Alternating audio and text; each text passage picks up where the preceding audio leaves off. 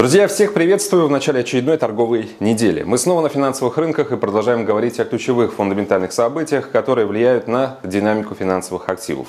Не забывайте подписываться на наш канал Амаркет, оставлять ваши вопросы в секции с комментариями и не забывайте ставить э, лайки.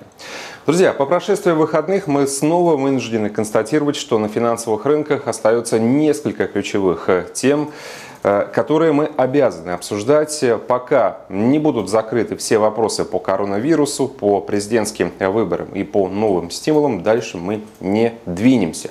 Но в то же время это настолько насыщенный серьезный фон, что скучать нам точно не придется, потому что э, все эти события провоцируют мощную волатильность. И в этой волатильности мы как раз и стараемся найти больше признаков э, тех трендов и тенденций, которые нам необходимы.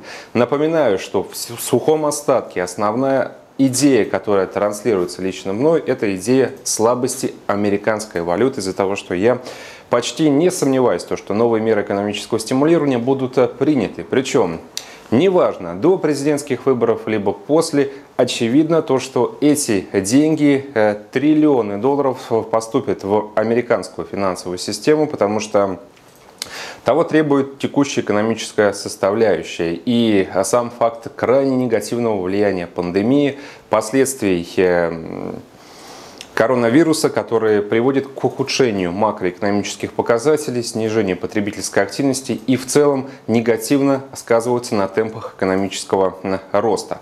Поэтому, друзья, на этой неделе мы с вами продолжим следить за статистикой, которую я рекомендую э, просматривать э, в статистики исследовательского центра Джона Хопкинса, отдельно по регионам, которые вас интересуют. Но вот по штатам, к сожалению, цифры страшные. За а, минувшие выходные количество заболевших за день держится в районе 60 тысяч. Это пиковые максимальные значения за последние три месяца. Что касается выборов, то на этой неделе в 4 утра по московскому времени в пятницу Э, пройдут дебаты между Байденом и э, Трампом. Я вас по мере, опять же, этой недели подготовлю э, к тому, в принципе, что мы сможем услышать от первого и от второго политика.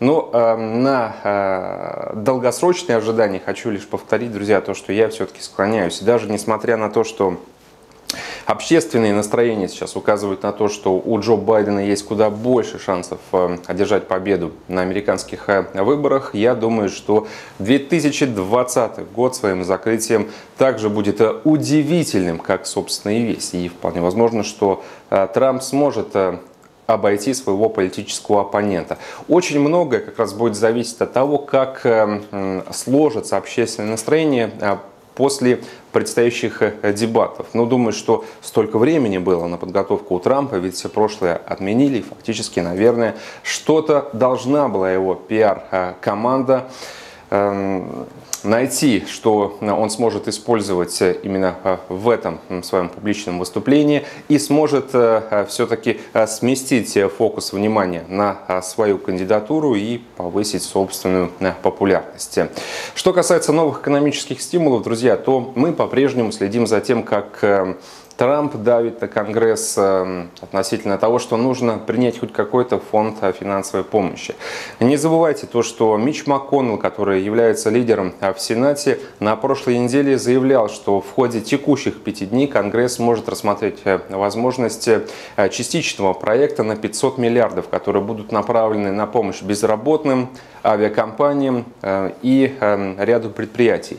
Если все-таки положительное решение будет принято, по новым стимулам, то даже 500 миллиардов будет достаточно, чтобы а, снова а, у нас а, появился локальный хороший триггер для слабости американского доллара и роста фондового рынка. Поэтому не теряйте бдительности, все может случиться очень быстро. Самое главное, а, примите для себя то решение, которое вам кажется фундаментально оправданным. Если вы согласны с моей точкой зрения, то нужно ставить на снижение курса американского доллара. Нефть 42.78. Сегодня пройдет встреча технического комитета ОПЕК. Это э, встреча формальная, скажем так, она не, не принимаются каких-то судьбоносных э, решений. Просто обсуждается конкретная ситуация с рынком нефти, балансом спроса и предложения. Формируются рекомендации, которые впоследствии уже будут рассматриваться на министерском э, уровне. Важная встреча пройдет только 30 ноября. Но в то же время, друзья, я напоминаю то, что на прошлой неделе страны ОПЕК через Саудовскую ОПЕК плюс, скажем так, через Саудовскую Аравию и Россию дали нам уже эм, понять, что на предстоящей встрече скорее всего, э, примут решение не э, изменять текущие квоты по добыче. С 1 января в соответствии с текущими договоренностями ОПЕК+, страны ОПЕК могли сократить, точнее, Э, увеличить долю по сокращению добычи, э, с, точнее снизить долю, простите, друзья, с 7,7 до 5,8 миллиона. Но полагаю то, что из-за негативного влияния пандемии это решение будет отложено на более поздний период. Поэтому ОПЕК э, плюс будет выступать той самой организацией,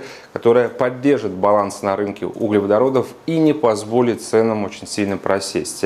Я пока что еще отрабатываю длинную позицию, поскольку верю в локальную слабость доллара. Ранее э, отчет по запасам также поддержал э, покупателей запасов нефти США э, снизились. Ближайшая цель, по моим субъективным предположениям и ожиданиям, это тест сентябрьских максимумов на отметке 43.55. Но будет совсем круто, если удастся все-таки, прежде чем мы пойдем ниже, добраться до 45 долларов за баррель.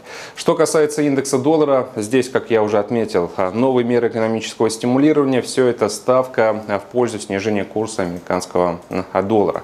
Золото 1900 Хорошая отправная точка для средних долгосрочных покупок. Э, для тех из вас, кто ранее, друзья, не принимал решение заходить в золото на такой промежуток времени, рекомендую сделать это. Евро против доллара 1.1705, ставка в лонг также сохраняется. Фунт против доллара 1.2928. Э, после саммита, э, на котором обсуждались перспективы Брекзита, можно точно сказать, что соглашения нет. И последний комментарий Джонсона, что если переговорщик АТС Мишель Бранье хочет на этой неделе посетить Лондон, ему нужно сделать это только в том случае, если ЕС есть что предложить Англии. В противном случае эта встреча не будет иметь никакого смысла. И Джонсон, друзья, эм, в пятницу дал четко нам понять, что Англия уже начала готовиться к жесткому Брекзиту. Имейте в виду, если торгуете фунтом, британская валюта может очень резко обвалиться. Многие инвестбанки рекомендуют своим клиентам ставить на э, снижение пары фунт-доллар в районе отметки 1.25-1.26 в перспективе ближайших нескольких недель. Я рекомендую вам все-таки от трейдинга воздержаться по фунту, потому что э, очень уж волатильная пара в последние дни. Dow Jones 28 8574 пункта. Ждем, собственно, теста Сопротивление 29 тысяч, и все пока что к этому идет. До очень хорошо начал текущий день.